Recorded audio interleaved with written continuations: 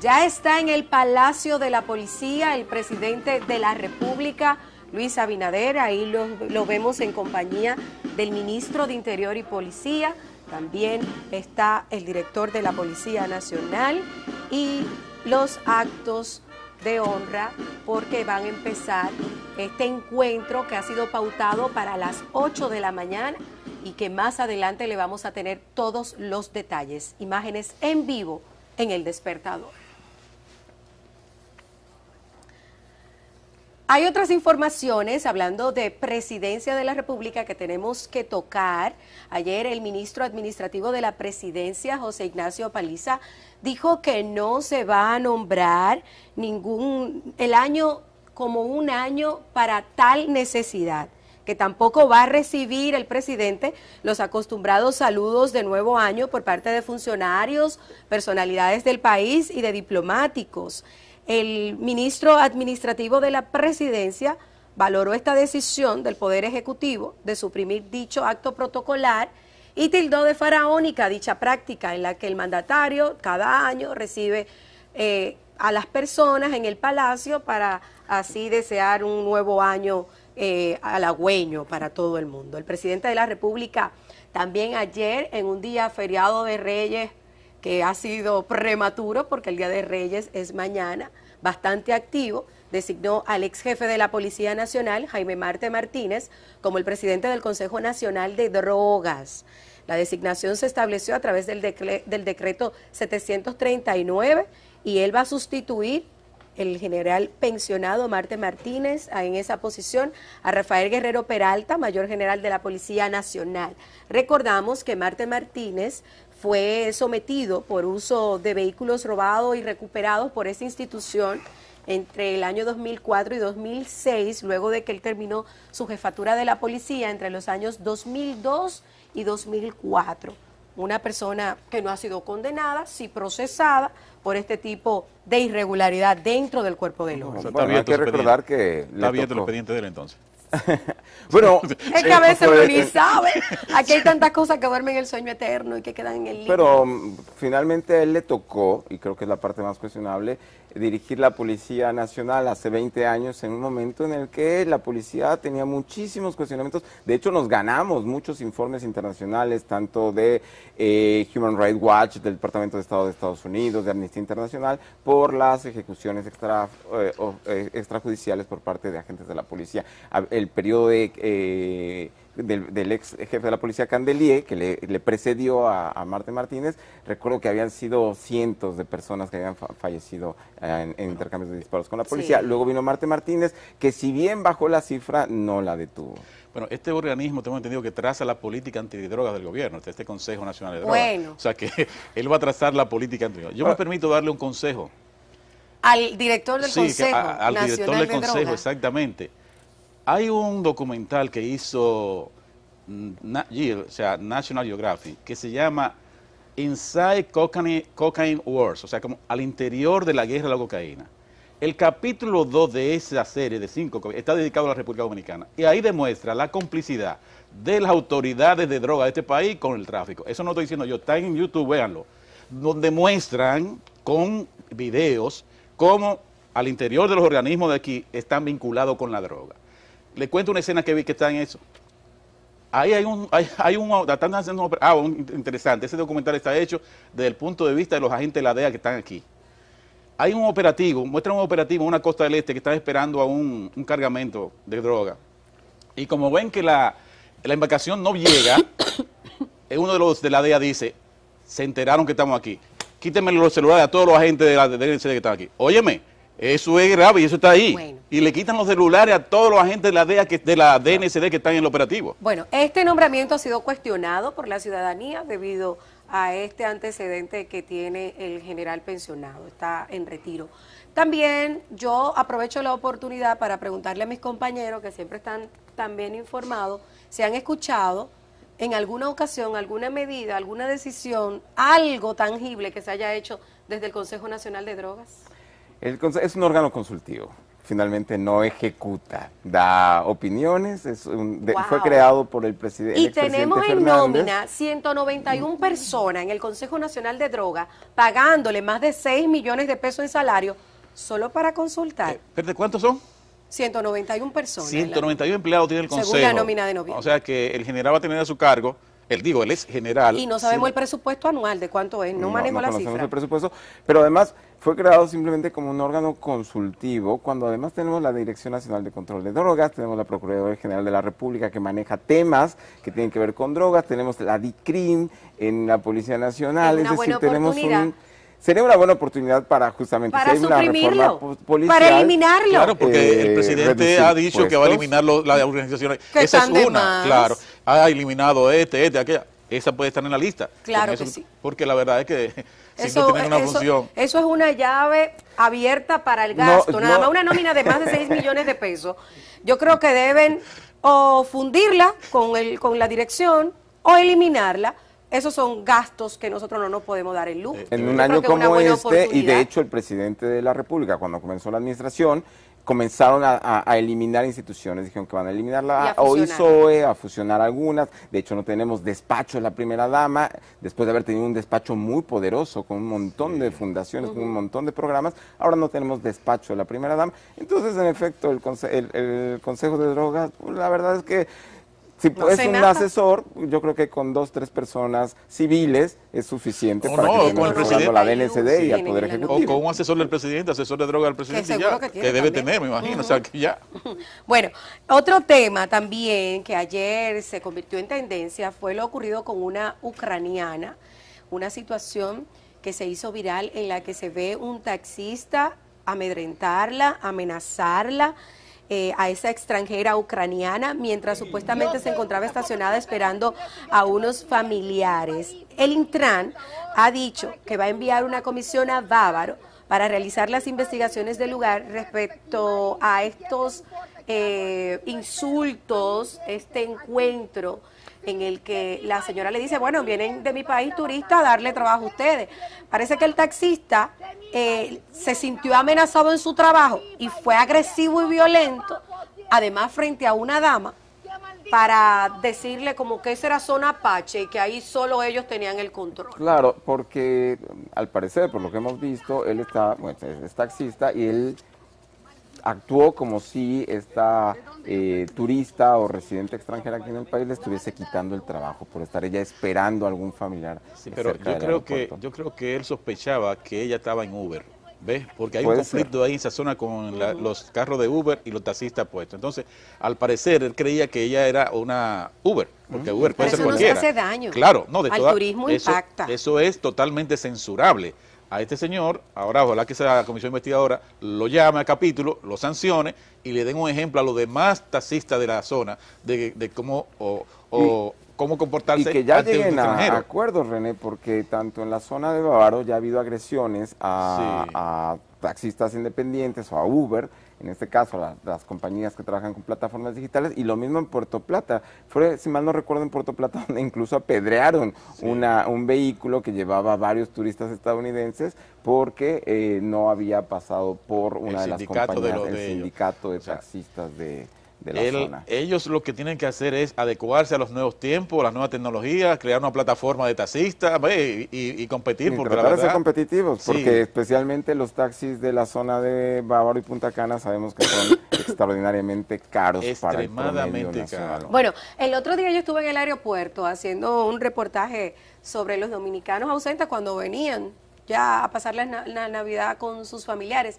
Y me atrapó un grupo de taxistas del aeropuerto de las Américas y me decían, mira, es que nosotros pagamos cierta cantidad de dólares semanales por estar aquí dando el servicio, entonces no es leal, no es una competencia equitativa que vengan los Uber y nos lleven los pasajeros cuando ellos no pagan esas cuotas semanales. Eso es cierto, hay que resolver ese tema. Por eso digo, tiene que, llegar a un acuerdo. Ese, es un aspecto que vamos a tocar ciertamente porque un parqueo de un taxista en, el aeropuerto cuesta un dineral. Entonces, lo que habría, la, la autoridad del Intran deben que intervenir ahí o le soneran ese pago a ellos para que tengan igualdad de condiciones con el Uber y hacer libre mercado el servicio transporte. Pero nunca se puede acceder a este tipo de actos violentos. No, no, la, eh, violencia jamás. Y, Además, ya estaba en la calle. O sea, defender un derecho agrediendo al, turista, eso es totalmente censurable.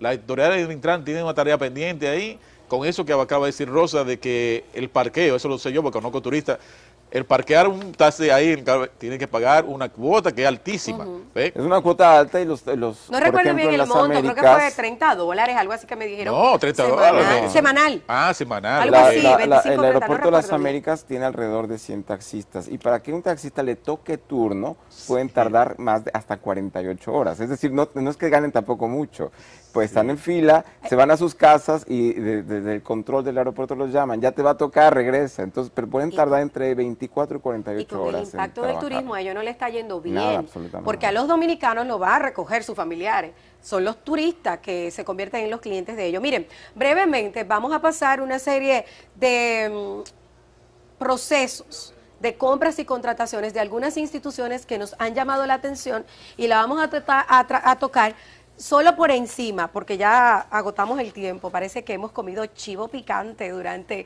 el final e inicio de año, porque el tiempo siempre se nos está haciendo corto. Miren la primera compra que nos llamó la atención. La Armada de República Dominicana, adquisición de regalos. Ellos compraron por 45 mil pesos a 9 mil pesos cada uno cinco relojes fósil para regalos en la Armada. Esto debe ser aclarado porque la Armada Dominicana tiene que comprar cinco relojes fósil para regalos a 9 mil pesos cada uno. No es la función de la Armada hacer regalos. No dice qué tipo de regalos, solo dice eso en la especificación de compras y contrataciones. El Consejo Nacional de la Seguridad Social está comprando vehículos de motor para la Gerencia General del Consejo Nacional de la Seguridad Social. Ellos están comprando tres vehículos, tres, por 7 millones de pesos. Cuestan más de 2 millones de pesos cada vehículo. ¿Por qué comprar vehículos tan caros? Para la gerencia general del Consejo Nacional de Seguridad Social, cuando eso no puede ser una prioridad. ¿Por qué comprarle vehículos de más de 2 millones de pesos? ¿Por qué no acceder a tipos de vehículos más económicos que igual cumplen la misma función? También tenemos que pasar a Ejejit, que es la empresa de generación hidroeléctrica dominicana, porque ahí se están haciendo licitaciones para varias construcciones. Quien está a cargo de esa institución es Rafael Salazar. Llama la atención que estas construcciones, Ejejit, señores, una empresa de generación hidroeléctrica, licitando construcciones, nada más y nada menos que en el pueblo natal de su encargado, del señor Rafael Salazar. Oigan, construcción de cancha deportiva Ingenio Nuevo, provincia de San Cristóbal, República Dominicana. El señor Salazar es de San Cristóbal. 5 millones 100 mil pesos. Construcción de cancha deportiva Casita Najayo Arriba, provincia San Cristóbal. 5 millones. Construcción de centro médico primer nivel en la provincia de San Cristóbal. Eso es en la plena, allá en San Cristóbal. 11 millones 785 mil. Construcción de funeraria Najayo Arriba, también en San Cristóbal, 8 millones 750 mil. Construcción de centro médico primer nivel Najayo Arriba, también 11 millones 755 mil pesos. Reparación de centro médico de primer nivel Las Palmitas, en San Cristóbal también, más de 2 millones de pesos. Llama la atención porque la empresa de generación de hidroeléctrica dominicana no está para este tipo de construcciones y todas estas construcciones se están haciendo donde el pueblo natal del encargado de Jejit, el señor Rafael Salazar, que de hecho es el presidente del Partido Revolucionario Moderno en esa demarcación. Hay que pasar ahora a la industria nacional de la aguja. Inaguja. ¿Ustedes han escuchado algo que hace Inaguja? Bueno, Inaguja, el gobierno anunció el año pasado que iba a fortalecer y que iba a reorientar. Ellos están contratando servicios y esos servicios son para mantenimiento de un vehículo, lo dice claramente la licitación. Por ejemplo, para la reparación de transmisión, 142.500 pesos. Para la reparación o pintar carrocería de un vehículo, 142.500 pesos. Para el cambio de fluido, eso para cambiarle el aceite a una transmisión, 142.500 pesos. Para la reparación del tren delantero, 142.500 pesos. Yo me atrevo a jugar un palé con esa cifra. 142.500 pesos para cambiar los fluidos, pero también esa misma cantidad para pintar la, carrocería, para reparar el tren delantero. O sea, cuesta lo mismo cambiar un fluido que reparar la transmisión. Cuesta lo mismo cambiar un fluido que reparar el tren delantero. Eso es en Inaguja. Y el total licitado eh, asciende unos 500 mil y tantos pesos. El incumbente no Bueno, habría que averiguar, por ejemplo, si lo que Pero ahí mismo en Inaguja que están licitando. se refiere a un programa. No, es una, es un vehículo, lo dice claramente y toda la documentación la sea, dice una unidad, pero... Unidad es un vehículo, no especifican el vehículo, pero es un vehículo. Y le van a cobrar lo mismo que por el cambio de fluido que por reparar o pintar ese vehículo 142.500 pesos por cada uno de estos servicios. Pero ahí también están comprando almuerzos por una opción ejecutivo, premium, picadera, eh, también gourmet, todo, lo dice así gourmet, por montos también eh, que a nosotros nos van a costar cientos de miles de pesos. ¿El inconveniente de cómo se llama? De Inaguja, vamos a buscar quién está en Inaguja pero a mí me, llama la atención que por el cambio de fluido te cobren lo mismo que por el cambio de un tren delantero de la transmisión y eso llama mucho la atención a uno como periodista. No sé cuál es el incumbente de Inaguja. Me, llama la atención lo de, lo de San Cristóbal, porque EGI es la empresa de transmisión eléctrica que maneja las redes nacionales de la energía eléctrica. Pero cuando Rosa estaba leyendo las partidas y, la, y para qué se estaban dedicando dinero, eso no tiene esta explicación, señores todo parece indicar que ese incumbente aspira a un cargo electivo ahí en proselitismo. Eso es proselitismo. Eso es darle de comer a su gente de su, de su provincia y comprometerlo para su proyecto político particular. De ahí se desprende eso. Cuando ella trae una cancha, es ahí una cancha, ah, no, eso es para el barrio, mira, y que se lo agradezcan a él. Pero todo en San Cristóbal. claro, precisamente porque... No es en San Juan, ¿no? Por eso estoy diciendo, bueno, si fuera de San Juan, a lo mejor estuviera haciendo en San Juan lo que me, la impresión que me da, y, creo no equivocarme, es que este señor tiene aspiraciones políticas en San Cristóbal y está haciendo lo que han hecho otros, eh, invertir en su provincia para que su gente, sus futuros votantes, lo apoyen cuando él se lance a un Más de 40 millones de pesos en obras en su demarcación. Eso empezando. Todo eso empezando. Bueno, falta mucho para las elecciones. Ahora que falta. El señor Salazar. falta. Bueno. Vamos a una pausa. Vamos a seguir mañana con este tema. Sería interesante saber a qué aspira él. Bueno, creo que aspiró a legislador en alguna ocasión. Sí, perdió. Ah, entonces ahora él va a billete limpio. A ver si va a senador aspiró. Mira, me dice aquí que aspiró a senador. A papel. Alguien de San Cristóbal nos dice que Ah, bien, ya la presencia Entonces está creando su base con el dinero del contribuyente. Está creando su base eh, pero además Jejín no está por construir nada. Precisamente. Claro, pero aunque tengan instituciones que, alguna partida por, asuntos de programas de responsabilidad social tienen pues, fundaciones. Eh, no es responsabilidad de las instituciones, pero sí las tienen.